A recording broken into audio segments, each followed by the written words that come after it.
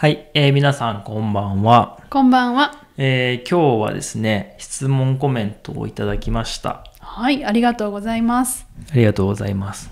ちょっと難しいんですけど、はい。読みます。うん。えー先生、私はミャンマー人で先生に質問したいんですが、兵庫のことを全部知りたいです。ほそこにある工場、工場で応募します。したから。えっ、と、兵庫県の工場に、えっ、と、仕事の応募をしたっていうことなんですかね。う。うんうん。はい。なので、えー兵庫県のことを全部知りたいですという質問なんですけど、おお。あのーありがとうございます。はい、ありがとうございます。えっ、と、ただ、質問がすごくこう大きいですね。本当ですね。兵庫県のことを全部教えてくださいということなんで、全部はね、ちょっと難しいんですよ。私たちも知らないことがいっぱいあります。そうだね。うん。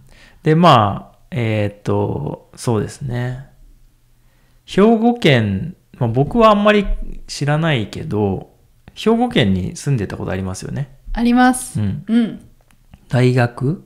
大学生の時にうん。住んでました。はい。うん。それだけです？あと、そうだね。それかな？ああとはまあ、その、地元というか、うんうん。が兵庫県に近いっていう。そうです。はい。なので ありますよね。うん。よく行ったことはあるんですけど。うんうんうんうん全部教えられるほど詳しくはないと。うん。そうそう。いうこと兵庫県って大きいというか広いんですよね。ううんん。なるほどね。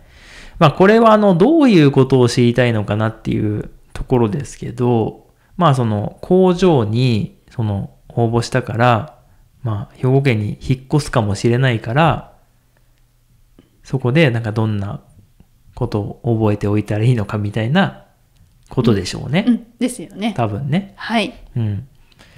とはいえ、なかなか難しい質問ですね。確かにうね。ん兵庫県で、うん。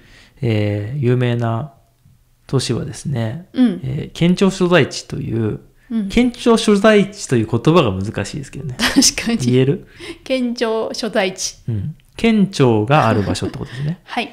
まああの北海道とか大阪府とかだったらその府庁とか道庁になると思うんですけど、あの兵庫県の県の、えっ、と一番メインの都市というか、うん。がある町うん。ですね。うんうんうん。えー県庁所在地は神戸市です。はい。はい。神戸は、えっ、と、空港もあるし、大きな港があって、結構国際的な街ですよね。有名じゃないですかね。うん。まあ、神戸は有名ですよね。はい。うん。横浜か神戸かみたいな。そうだね。大きな港の街はね。うんうん。なので結構有名な街だと思いますけど、うん。で、あとまあその質問者さんのね、お話にあるように、えー割と工場とかは多いんじゃないかなと思いますね。うんう。うんん。で、えー兵庫県は海が南側にも北側にもあるとうん。いうことで、日本海にも、えーまあ太平洋というかね、瀬戸内海ですけど、その北側にも南側にも海に面しているうん。という県です。ね。いいですよね。以上です。はいまあそれぐらいの知識しかないですね。確かにね。うん。あとは、私、あれが有名だと思ってるんですけど、うんえっと、姫路城です。ああ、ご存知ですかね？姫路市のね、はい。お城ですね。はい。はい。人気のお城じゃないですか。ね、知ってる方多いと思うんですけどね。そのお城、日本にはその江戸時代とかね、もっと前からのそのお城っていう、まあ、建物がありますけど、うん。たくさんある中でも、まあ、人気な方のなんかベスト5とかに入ってくるんじゃないですか。ああ、絶対入ってくると思います。綺麗なね、お城ですよね。真っ白なね、うんうん。大きなお城です。はい。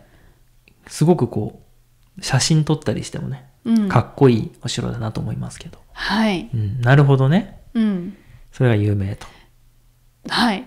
そうです。はい。うん。あとなんだろうね。何がある？うーん。まあ何がって言われたらちょっと難しくてよくわからないんですけど、うん。まあ、神戸牛。うんうん。うん。神戸牛って、さっき言ってたあの、神戸市の神戸牛っていう、まあ、牛肉が、まあ、ブランド牛として有名ですよね。確かに食べ物は結構美味しいものがたくさんある気がします。うんうん。うん。でもさ、例えば山梨だったらブドウとか、うん。青森だったらリンゴみたいな、うんあるじゃないですか。うんうん。そういうのが兵庫県は僕は全然思いつかなかった。まあそうだね神戸牛が一番有名かなあとは海があるっていうことで魚もうんうん。美味しいあはいはい。あの、日本海側の、例えばあの、豊岡市とかね、うんあの、あっちの方だったら、カニが有名じゃないですか？そうだねね。今からだとカニがうん。美味しく食べられますはい。なんか兵庫県っていうのとちょっとイメージが結ばつかなかったけど、うんカニは有名ですよね。そうですねうんうん。なるほど。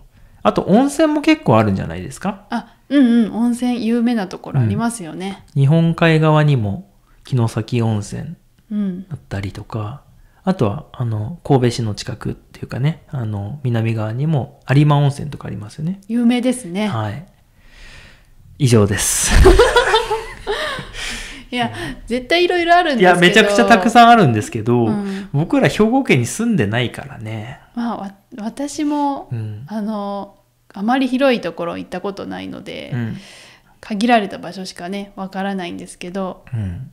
うんまあでも、あの、その海も山もあって、都会だし、自然も楽しめるみたいな。うん結構コンパクトにね。うんそういう街だなと思いますね。うん、とてもいいところだと思います。うんうん、で、あとは、その有名な観光地の、えー大阪とか京都にすごく近い。うん、あとは、四国ね。うん、うん、海を渡って四国にもすぐ行きやすいといううん。ことで、いろいろできる場所じゃないですかね。本当に恵まれてる場所だと思います。うん。うん、まあ、あとは、日本の割とこう、真ん中辺にね、場所としてはあるんで、飛行機とか、新幹線とかね、あとバスを使って、まあ、どこにでも行けると。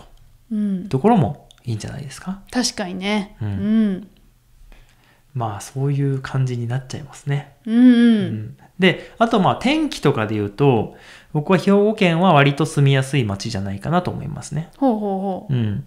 なんか夏もすごく暑いかっていうとそうでもないし、あの冬もそんなには寒くないよね。う。そうそうそう。ううんん、なので、まあもちろん海側と山側でね、かなりあの違うとは思いますけど、僕らの住んでるところなんて冬すっごい寒いし、うん、夏も結構暑いっていうので、うん、まあ住みにくいなとは思うんですけど、そうだね。そういう意味では住みやすいんじゃないかなと思いますし、うん、あとはこれは調べたわけじゃないんですけど、うん僕のイメージだと、やっぱ外国の人は多いですよね。あ、だと思います。うん、うん、やっぱり港があって、そういう、まあ、工場とかね、働き場所もたくさんあるので、外国の人が多いイメージで、で、その分、あの、まあ、その日本語学校とか、あの、なんていうんですかね、そういうサポートみたいな部分もたくさんあるんじゃないかなと思いますね。うん、うん、うん。ということで、まあ、兵庫県のどちらに、えー仕事にね、行かれるのかちょっとわかんないんですけど、えー頑張っていただきたいなと思います。本当ですね。頑張ってください。ちょっとあの、どういう風に答えていいか分かりにくい感じだったんで、うんもしもっと細かい質問があればね、ぜひまたコメントに書いていただければ、あの、答えられるかどうか、ちょっとわからないですけど、えー答えていきたいと思いますんで、はいよろしくお願いします。はい。ではでは。